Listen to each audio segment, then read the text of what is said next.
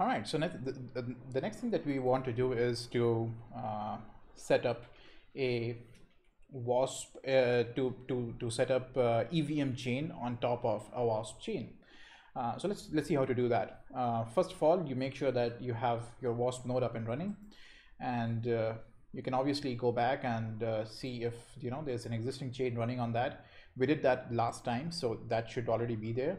Um, if you wouldn't have you know deleted your wasp db your uh, earlier chains will still be there. So anytime you would want to you know spin your node on and off um, it make sure that you, you you just have to carry forward the wasp db and obviously the json file and the config file itself.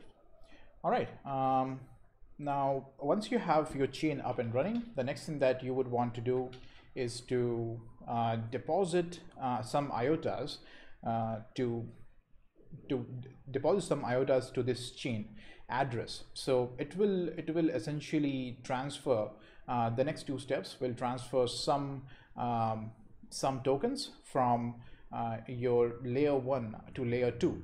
So the next two steps will do that.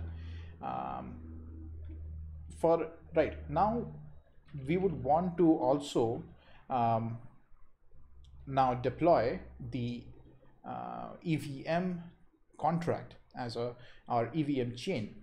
To, to, to, do that, uh, make sure you have your uh, WASP chain name correct here and an address that you would need. Um, how to get an address, you can generate a new address or you can, you know, go to your, uh, what the easiest probably way is to just open your MetaMask and uh, just go to any address, just create a new address or something. Uh, you can obviously, you know, create a new account over here and it will create an address, just copy this and uh, you know paste it. Uh, right now I don't have any any tokens on my um, so this is this is also pointed to the Rinkeby test network. Um, but if I actually point it to you know the local host uh, this will not actually connect with ours because uh, ours is, is, so this will try to connect but there's no uh, JSON RPC running so this won't really work. Once we once we run that we'll see how it how it is.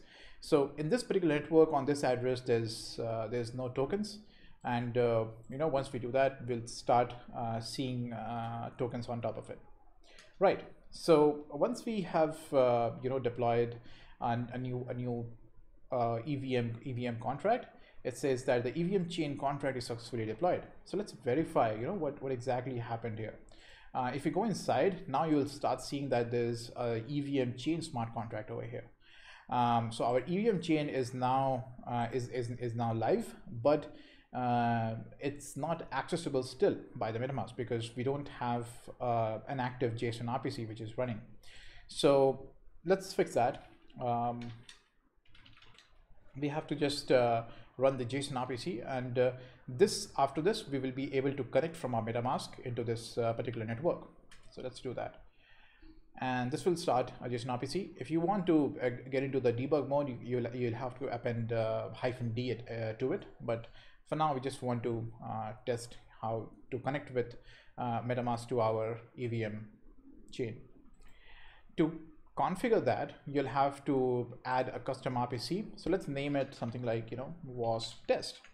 And uh, here you'll have to specify the entire thing. So let's specify our uh, local address that it is currently running on uh, you'll have to add a chain ID, which is 1074 by default.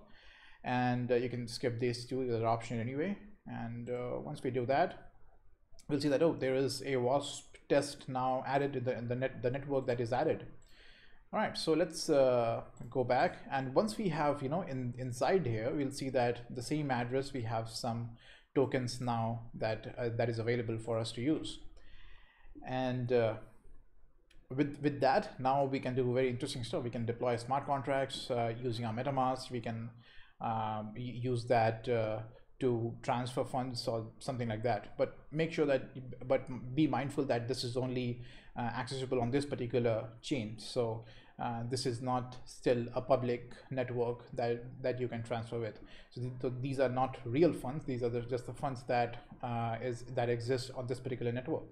Uh, you can name it uh, whatever you want. You can name it uh, by your own name. You can name it anything anything anything that that that you can relate to. But that's all that you need to run an EVM chain on a IOTA WASP chain. Thank you.